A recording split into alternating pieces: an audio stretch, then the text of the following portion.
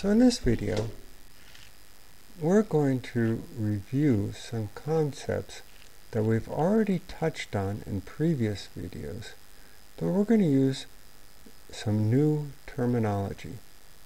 And the concept we're going to introduce is called the span of a set of vectors.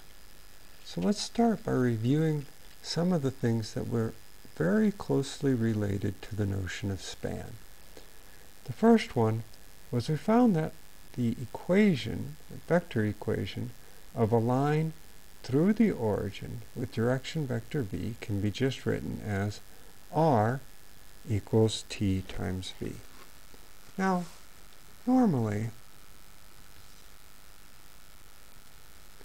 we would have something like, well, x y, z equals x naught, comma, y naught, comma, z naught, plus t times a, b, c. Or in other words, vector r equals vector r naught plus t v. But since we pass through the origin, the position vector of the origin is just the zero vector. And if I take the zero vector and add it to any other vector, the other vector doesn't change. So that's how we're left with just r equals t times v.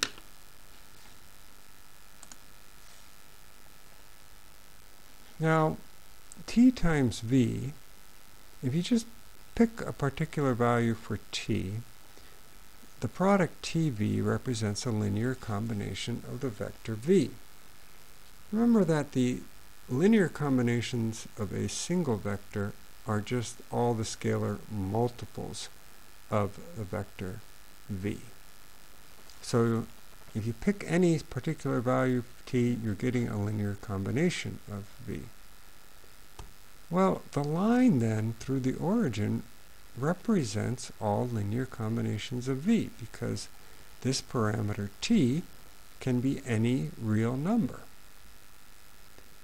Or we could look at it from another way. We could say that the vector v generates or spans the line.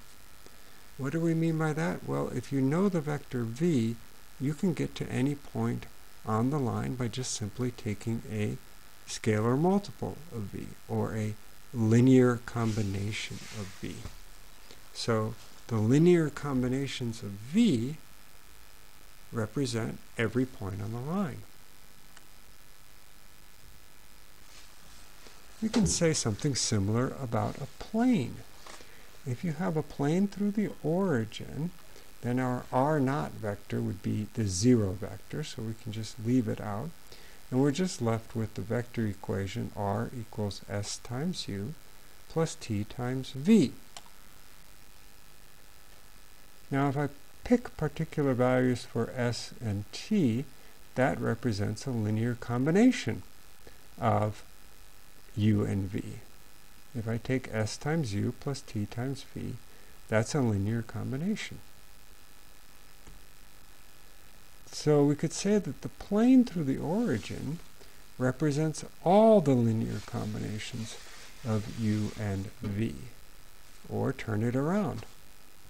That the vectors u and v span or generate the plane. What do I mean by generate? It means that any point on the plane can be reached through a linear combination of u and v.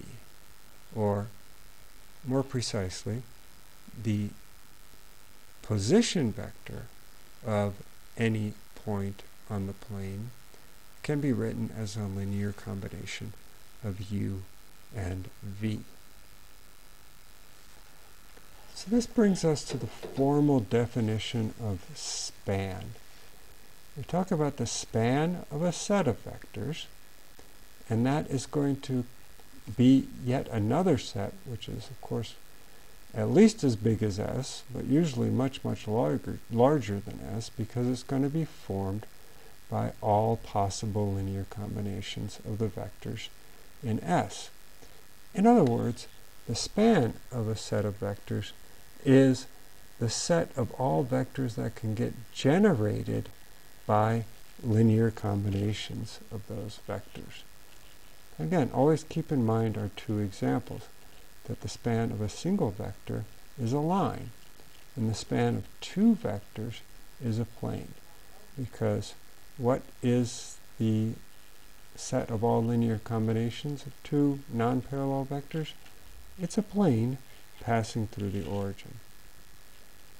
Now we keep saying that it has to be a line through the origin or a plane through the origin, and that's true because the zero vector has to belong to the span of any set. And from our more formal definition, that makes sense because we can choose our coefficients in the linear combination to be any scalar, including zero. So if I choose them to be all zero, then I just get the sum of one or more zero vectors, which of course is the zero vector. And then another result that we saw previously was that we can generate any vector in Rn as a linear combination of our standard basis vectors. And that's another way of saying that the span of our standard basis vectors is all of Rn. Now, let's look at some of our cases again, geometrically. The span of just the zero vector is really the zero vector or the origin, right? The zero vector is the position vector for the origin, so we just get a single point. We have a non-zero vector, just one non-zero vector, its span is a line through the origin. If I have two non-zero or non-parallel vectors, well, in R2, that's going to generate the entire plane. Well, we saw that in our video on how to add vectors graphically. There we didn't mention the idea of span. We simply said that, well, if we're given any point in the plane, uh, we can reach that point using a linear combination of the two non-parallel vectors. Or we could say that we can represent the position vector of that point as a linear combination of our two vectors.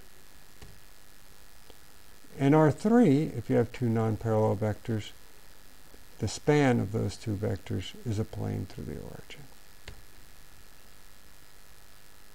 Now, there's an important notion of direction uh, inherent in the definition of span because what you're going to do is uh, when you form a linear combination is you're just going to change the lengths of the vectors when you multiply them by a scale factor and then you're going to add them up and if you already start by pre-scaling the vectors by some other non-zero uh, number, uh, then you really haven't changed their direction. And so uh, you're not going to change the span or the set of vectors that can be generated from those vectors. So a closely related idea is that if you only have two vectors and they point in the same direction, uh, then uh, any linear combination of those two vectors is still going to be parallel to those vectors, right? And I have to be careful. I really shouldn't say point in the same direction. I should just say parallel, because they could be pointing in opposite direction. But if they are multiples of each other and then you form a linear combination, the resulting linear combination is still going to be uh, parallel to the, each of those vectors. Or think of it in terms of R3. If you have a line that passes through the origin, and u and v are simply two direction vectors for that same line, then if you take a linear combination, you're going to get another possible direction vector because u and v were both parallel to the line to begin with.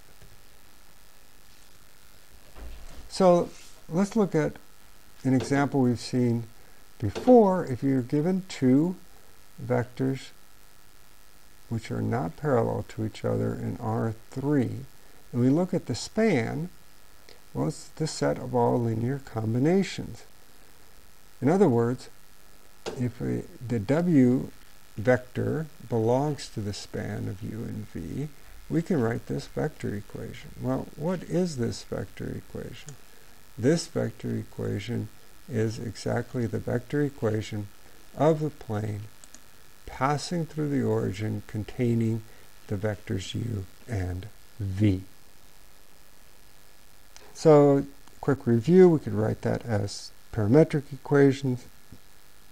And we know we can eliminate the parameters to get a Cartesian equation, which only has x, y, and z.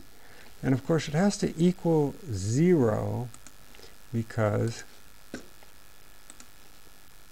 it has to pass through the origin. In other words, x equals 0, y equals 0, and z equals 0 has to satisfy this particular equation. All right. We've mentioned this a couple times before, that if you have two non-parallel vectors in R2, uh, you can generate any position vector in R2. In other words, what we saw when we were adding graphically is that if you're given any point in the xy plane, you can reach it by taking a multiple of u and adding a multiple of v. Well, that's exactly saying that, oh, uh, any position vector is in the span of u and v. So that's exactly right. If you take any w, w is written as a multiple of s times u plus a different multiple uh, t times v. And we have a similar notion in R3. Non-coplanar means they're not in the same plane. So if we look at u and v, uh, if they determine a plane, then w is not in that plane. W sticks out of that plane even a little bit, but it just is not contained entirely in the plane. And if that's the case, then um, you can generate every vector in R3 from those three vectors. So let's end with a very common question. If we're given a set of vectors, like here we have a v1 and a v2, all of the vectors are in R4, and then we'd like to ask, well, what about this vector w and this vector u? Do those vectors, does either one of them or both of them belong to the span of the set v1 and v2? Well, let's start with w. If w belongs to the span of v1 and v2 has to be a linear combination of v1 and v2. So we can find coefficients c1 and c2 such that the linear combination c1 v1 plus c2 v2 gives us the w vector. In other words, we can generate w from a linear combination of v1 and v2. Let's go ahead and put in the components for those vectors. And then from that vector equation, we can get a system of equations. Now this particular system uh, is going to be rather easy to uh, attempt to solve because of the second equation. And from the second equation we know that C2 has to equal 5. Now given C2 equals 5 I can choose any of the other equations to try to solve for C1. I use the first equation. If I substitute C2 equals 5 into the first equation, I find that C1 has to equal negative 3. Now I'm not done because in order for this to be a solution to our original vector equation, then it's going to have to be a valid solution for all four of the equations in the system.